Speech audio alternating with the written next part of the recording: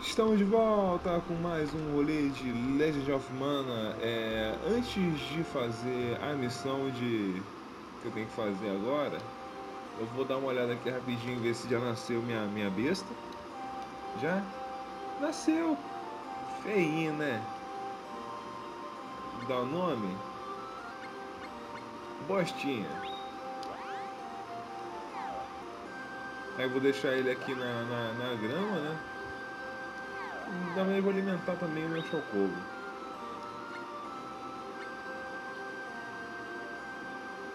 Ah, eu tenho que. Ah, não, pera. Tá certo. Escolher um item para alimentar ele. O que, que eu vou usar?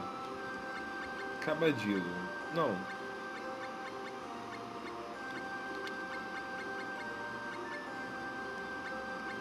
Carne de demônio. É, botei uns itens ali, agora esse bicho aqui vai ficar zanzando por aí, vai ganhando XP, só pra ficar por ali. Agora eu vou já dar uma olhada aqui na, na parte de trás, ver se nasceu alguma planta, né? Opa, nasceu. Heart Mint. É, eu tinha colocado é, Long Seed e Big Seed. Vamos lá, trocar ideia com essa porra. Oblong Seed, Oblong Seed. Tá, então vou dar pra ele uma Round Seed e uma Oblong. Aí eu volto depois aqui. Agora, a missão que eu tenho que fazer nesse episódio, ela é feita aqui do lado, né? Porque, tipo, no episódio anterior, né, eu fiz a parada lá do, do Dr. Bomb, Professor Bomb. Eita. Eu construí um laboratório de golem exatamente aqui. Tenho certeza que os golems que você fizer por aqui não vão ficar tão violentos.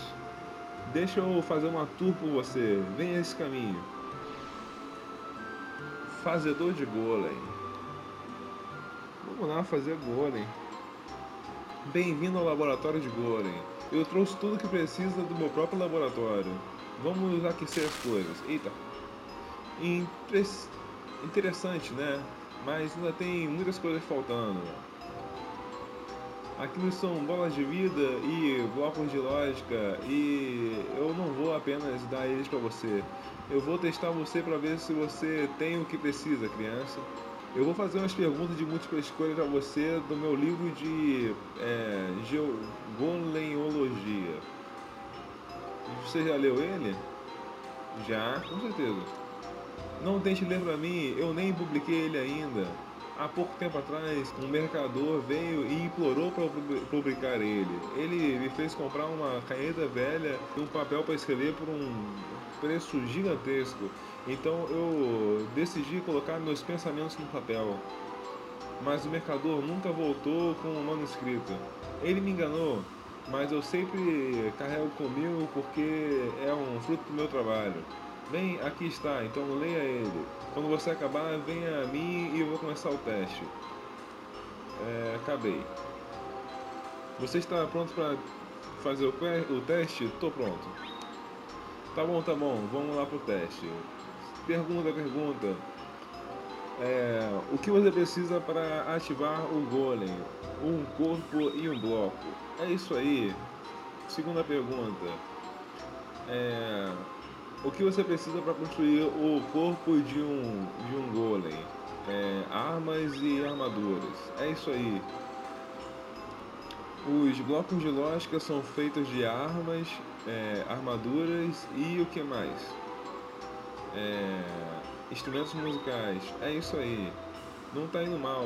Aqui toma uma Life Ball. Pergunta: O que determina o tamanho do cérebro de um golem?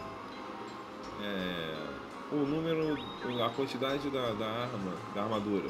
É isso aí. O que determina o tipo de bloco lógico? É a composição dos componentes. É isso aí. É, toma mais uma Life Ball. Pergunta, pergunta.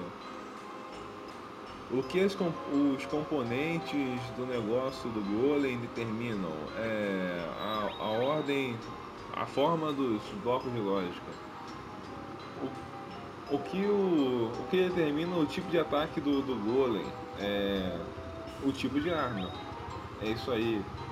Toma mais, mais uma Life Ball. Ah, já consegui todas as Life Balls, mas ainda preciso continuar uma parada. O, poder de ataque do Golem é de- determinado pelas armas que você usa como material. Mas o que de- determina a defesa? A defesa das armas. Armaduras, quer dizer. O que determina a taxa de malfunção? A quantidade de arma usa- armadura usada, né?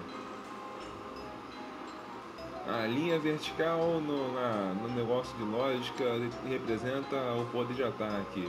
Então o que a, a parada, a linha horizontal representa? É a distância do inimigo? É.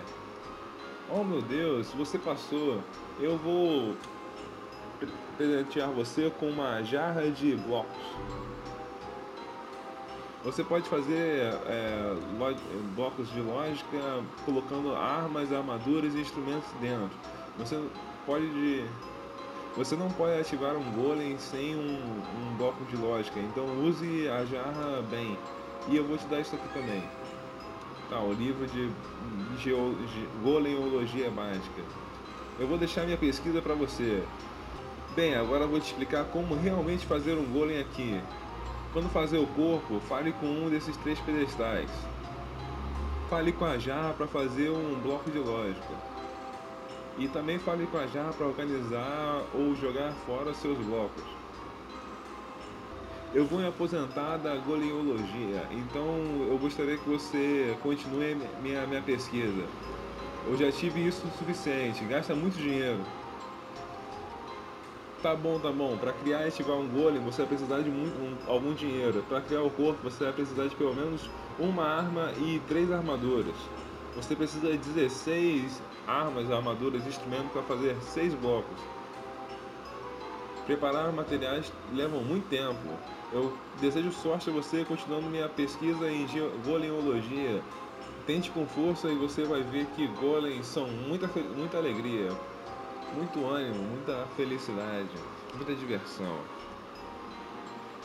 Eu tô indo pra casa, mas para ajudar você a começar, eu quero que você fique com isso. Mais um menos bronze, um Forcena Guns, tio, vários itens legais. Ok, ok, boa sorte na sua pesquisa. Sai logo, diabo. E é isso aí, mais uma missão finalizada. Missão meio chatinha, essas missões de tutorial.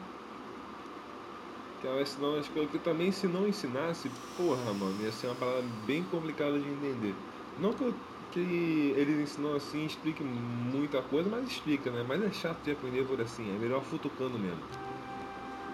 Mas às vezes tem coisa que não dá pra aprender futucando não.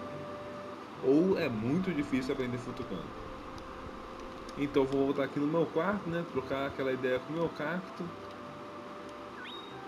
Golem, Golem Wallaby.